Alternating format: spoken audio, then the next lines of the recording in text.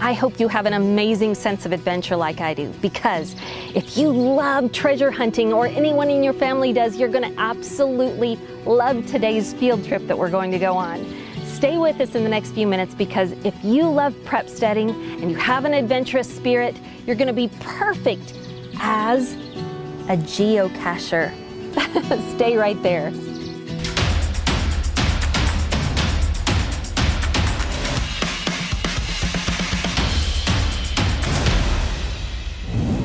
The best place I can tell you to go to get started with this is just straight to the website, geocaching.com.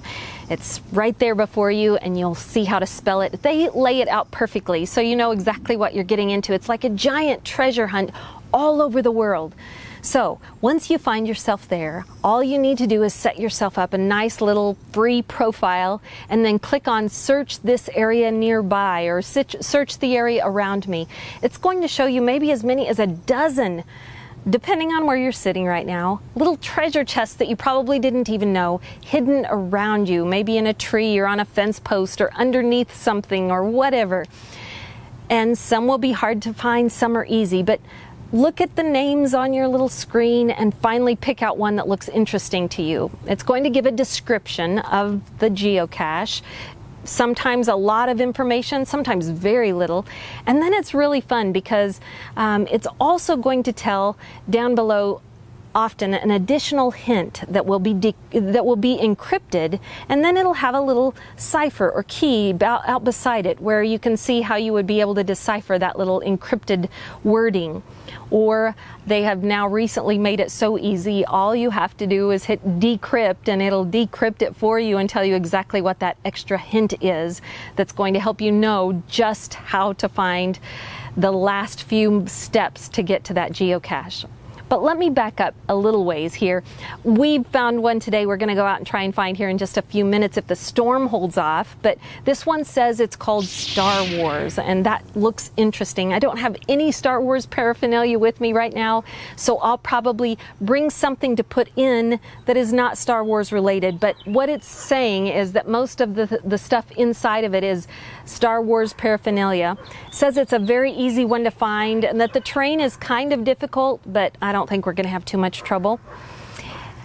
It'll give you the exact GPS coordinates, which makes it so much easier. This doesn't just lead you to a general vicinity, it should lead you to within 10 feet of the actual hidden cache. So that makes it easy. And then you can always scroll down the screen and see what other comments have been made. And what I love is that so oftentimes people that are really hardcore geocachers will take pictures of themselves when they found it or their adventure while they were out there. And those give me a whole lot of hints. So I kind of know what it looks like.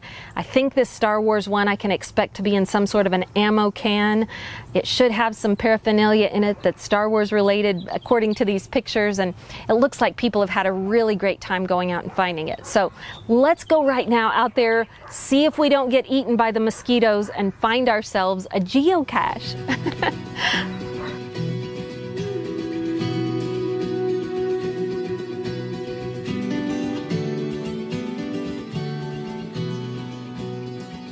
It's like we're only 200 and some feet away and here's a little parking spot, so here we go.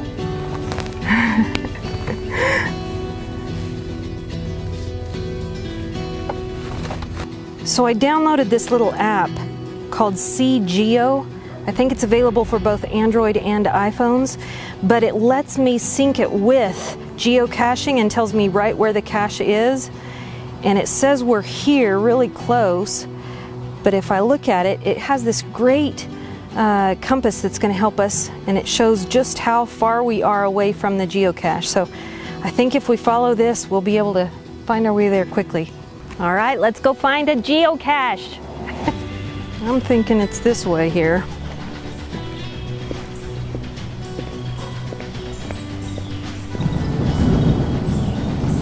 I'm thinking right somewhere down through here.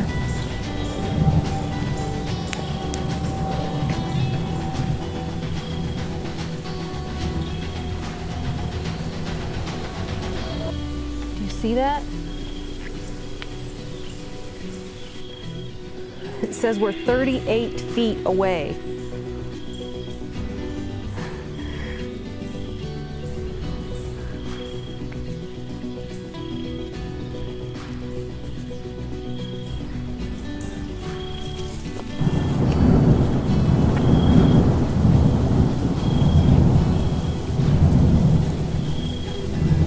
We're 27 feet away.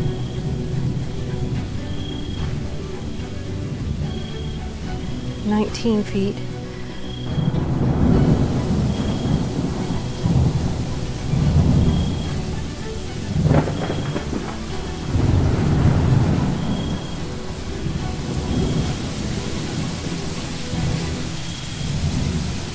My word, what a day we have had.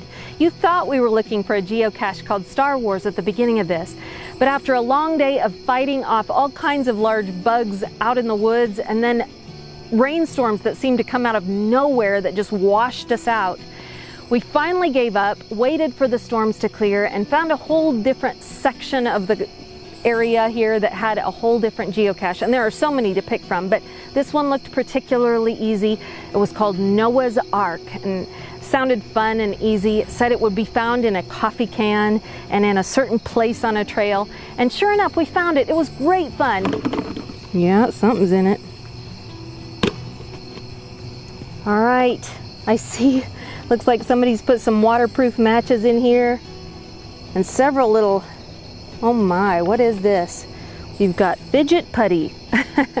Looks like they've also got a little Iron Man figurine in here. Let me set that up. Now this isn't a really great cache. It looks like it needs a little bit of maintenance, but you're always supposed to take something out and put something back in. And I brought two little items I thought might be fun for somebody. The first one is this. It's a actually a level and a tape measure and then it's got a little post-it notepad in there behind a plastic cover. And then this cute little pen on the side that slides out so you can write stuff on the notepad. I thought that might be a good little thing to put in there. And then the other thing I thought might be a nice idea is this thumb drive that um, is actually one of those rubber armbands that actually you could store a lot of really cool information on here and or, or even something secret. That would be really cool. So I'm going to put all this stuff back in there, seal it up tight, and tuck this little geocache right back where I found it under the bush. it was great fun. Now, it wasn't a fantastic geocache, that's all right, but there's so much to learn from this fantastic exercise or, or fun that it is to go geocaching. Now it's your turn though. I want you to just think for a minute. I don't need to name all of the benefits of this, but I hope your wheels are turning in your head of all the ways this can benefit your family. Everything from just getting outside if you're used to being indoors, if you're urban folks and you just never have a reason to get out into anything other than the city, man, this is your chance to get out into the parks and such. It's great for exercise, it's great for a family unifying activity. Course, there's a little conflict that goes on too as everybody decides they know which direction to go, but you learn how to work together. It helps you from being scared of the dark. you're gonna come across some really fun stuff. Just on the trail, we came across everything from a space pen to some old sunglasses and all kinds of little fun, creative things along the way. But now it's your turn. I hope that you take and run with this idea. Look at the website, go out and find a few of these yourself, and come back next week because we want to take the time to talk about how to make a good geocache for prepsteading. So that's going to be incredible, and we're going to talk about some of the great ingredients that you can put in your own private family geocache that no one else in the world knows about but you. All right, until I see you again, thank you for joining us. We'll see you next week. Hit the subscribe button and the bell and share this with somebody you love. And go out and intentionally be a blessing to someone today. bye bye.